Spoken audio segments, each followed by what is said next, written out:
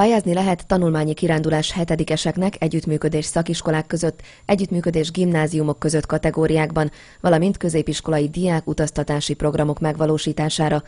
Kiskörösön Boros László vállalt segítő szerepet a kapcsolatok felvételében és a pályázatok megírásában. Én írom az erdélyi részét, ők meg a itteni részt, de az itteni részt is közösen szervezzük meg.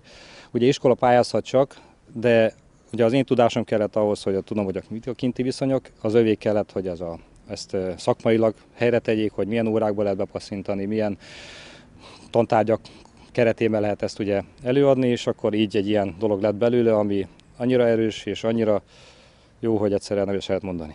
A pályázat kíróinak célja, hogy ne lehessen az általános iskola nyolc osztályát elvégezni úgy, hogy ne jusson el magyarországi diák a határon túli fiatalokhoz legalább egyszer, illetve ők ne jussanak el hozzánk. A nemzeti összetartozást átérezni és átélni összesíthetnénk egy mondatban a Határtalanul program legfontosabb célkitűzését. Ebben a Határtalanul programba azt láttam fantáziának, hogy tulajdonképpen láttam ott kint, hogyha kimegyek és utazok a határtól még 10 órát, és leszállok, és 20 éve járok és mindenki magyarul beszél, és nagyon, nagyon vendéglátóak, szeretik a magyarságot, és meg is őrzik a magyarságokat, hogy ezt meg kell mutatni a gyerekeknek, hogy ne csak a tankönyvből találkozzanak vele. És sok gyerek meg is lepődött, hogy tényleg itt felszállt Kiskörösen a buszra, 13 óra múlva leszálltott, és nem azt kellett kérdezni, do you speak English, hanem mindenki magyarul beszélt.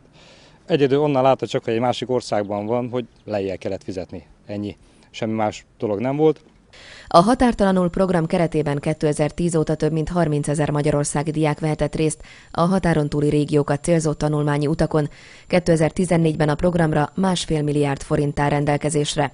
Az általános iskolások április 22-éig, a középiskolások május 19-éig pályázhatnak.